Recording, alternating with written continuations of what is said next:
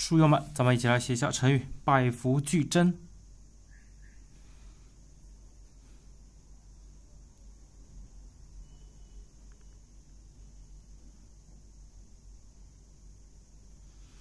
这里顿一下啊，顿一下。这里这个长横呢，一般来说的话，都是写的比较平的。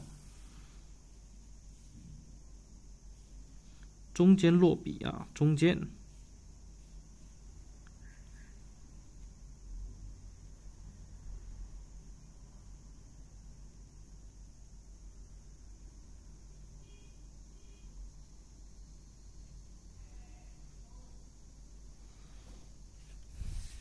百字的话，需要注意什么了？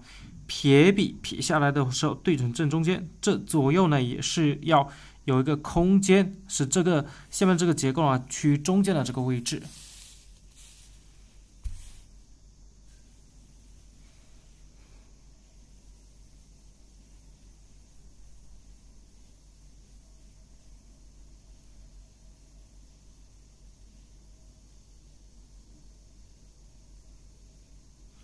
这里这个竖笔呢偏长一点会更好。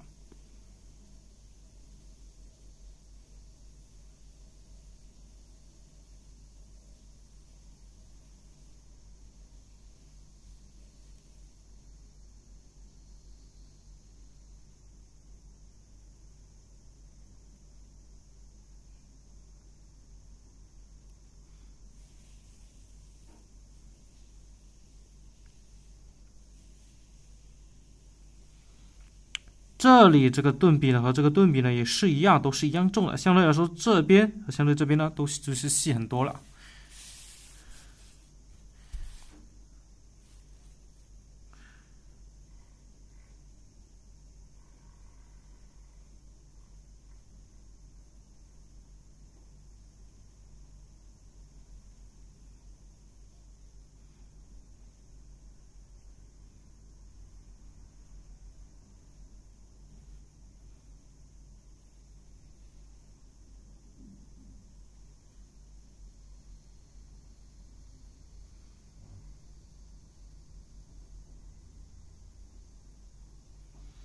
哎，这里这个“巨”字呢，首先这笔伸出来一点没关系，而这里呢捅过来一点也没关系。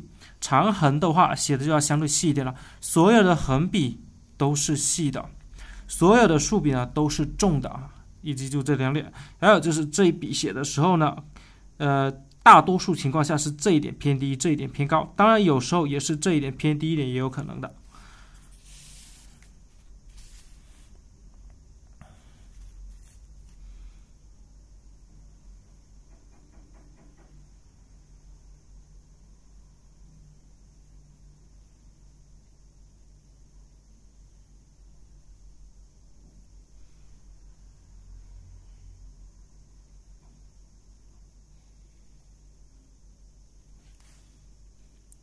左右贴的比较紧一点。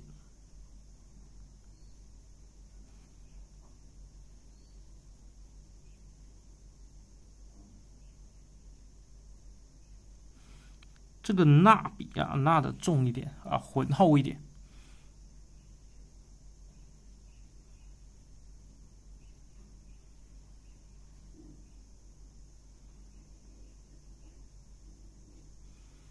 勾上去的时候，其实这这是属于一个不不是属于中间的一个勾，所以勾的稍微小一点也没事。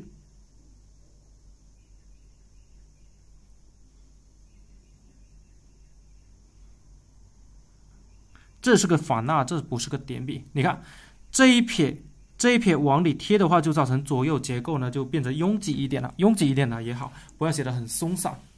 啊，百福俱臻呢，这几个字呢，我们就写到这里。感谢大家的收看，啊，下期再见。